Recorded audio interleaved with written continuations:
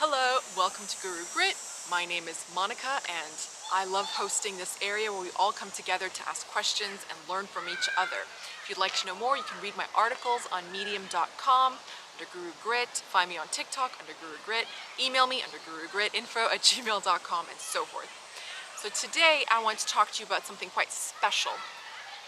And it's something that's come up a few times. And it's something that I've experienced in my own life. So I really feel deep resonance with what I'm about to talk to you about. And it's how to navigate communication with someone that isn't even speaking to you for whatever reason. Ah, so if you're familiar with more, you know, technical things, something to the effect of remote viewing, we'll say, then you'll know that your subconscious can go and flow absolutely anywhere.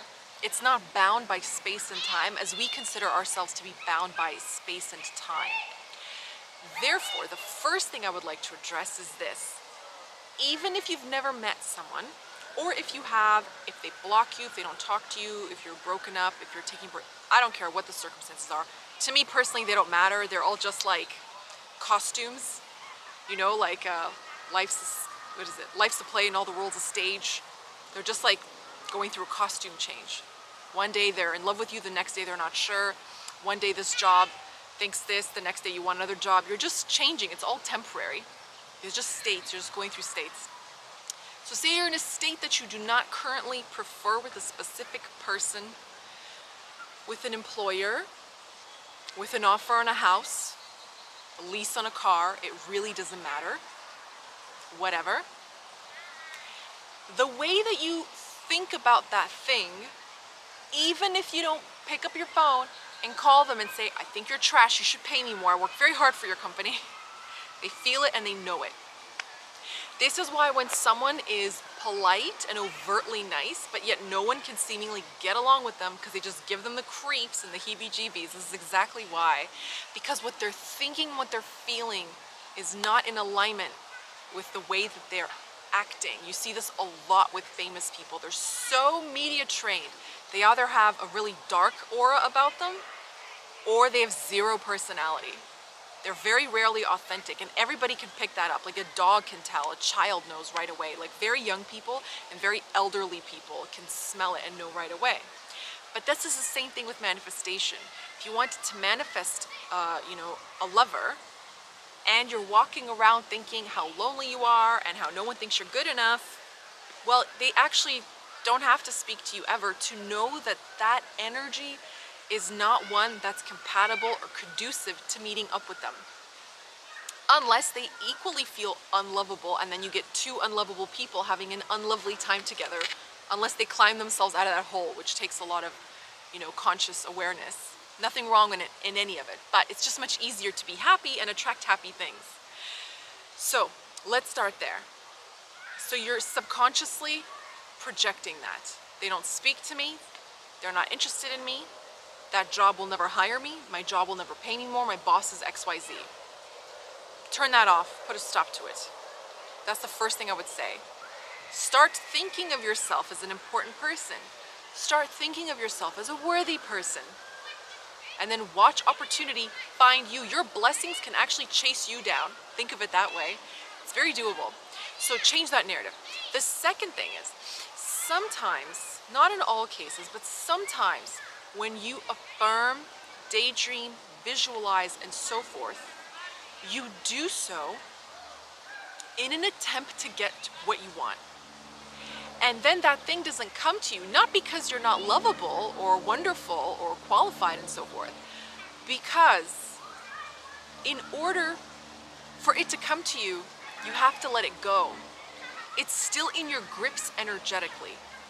So let's say your job wants to promote somebody and you never, your name is never pulled from the ether and no one ever thinks to recommend you as they're brainstorming who they're gonna put in that position, in that role, because you're thinking of it so obsessively. It's too up close. Everyone's had that moment where they've literally been holding something and looking for it at the same time, a remote or a pair of glasses or whatever. Let it go. Give them a chance to be inspired, right? to, to find you. They want to think it's their brilliant idea that they put you in that role. Let's say it's a lover. Well, the lover wants to think it was their idea to ask you out. They want to feel special that they proposed to you. They want to feel special that they came up to you and asked for your phone number or shot you a glance. So beguiling, okay? Give them a chance to admire you and be struck by their own brilliance. Like, oh, you know, she's gonna think I'm amazing. I walked over here and I put the moves on, you know, and you're like, yes, yes, you know? So give the world some space in order for the universe to be able to exercise its creativity in the utmost capacity to delight you when your manifestation actually does show up. It can't come if you don't let it go. You have to release it, put it in the hands of existence, and then existence can kind of like refurbish it and make it a little bit better, embellish it a little bit, spit shine, and then it brings it to you. The reason this is necessary is because it does a much better job than you could ever do. So if you're, you know, let's say you're really attached to getting a, a certain role for employment, a certain person, a certain car, apartment, whatever, you think there isn't anything better. Okay, that's fine. You can have that apartment, that address, that unit, whatever. But you can get a better version of it. You know, let them paint the place, let them fix the light bulbs and the switches and everything, and then move in. You don't want to move in into a dirty place. So it's important to let it go. So yes, take space. Let's say it's a person or a job. You don't have to keep looking at um, you know, social media because that energy goes and flows everywhere. It's hooked itself into that person. So they might not consciously know, but they can feel, they know something. And girls, especially girls, girls are smart. They feel everything, so they definitely know. so give them, give them some space. Uh, you know, if you have to block them, delete them. If you have to delete your own apps, whatever. Okay, same with LinkedIn, whatever. Uh, landlord, whatever. And then also in your own mind. So when you're exercising, when you're meditating, when you're going for a walk or cooking, all these things that are forms of active meditation because it's mindless, repetitive action and motion. Put that out of your mind. Let the idea come to you rather than you putting the idea out there. So now you're the one who's desirable and that energy is seeking you. And then when it lines up, it's gonna be so exciting and so much fun. Thank you so much for listening.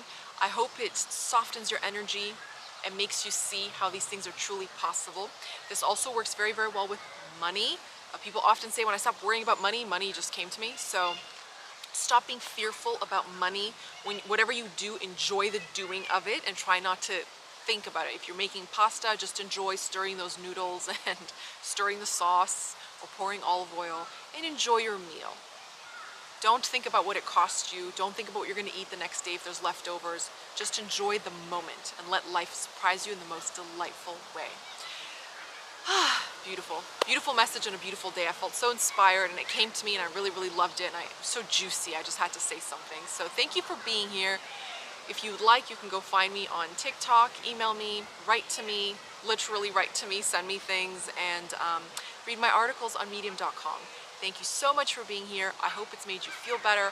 I look forward to all your messages in the future and I try to get to I try to get to every single one actually, but um, sometimes people unsend them or they just write and they say, actually, never mind, it worked out.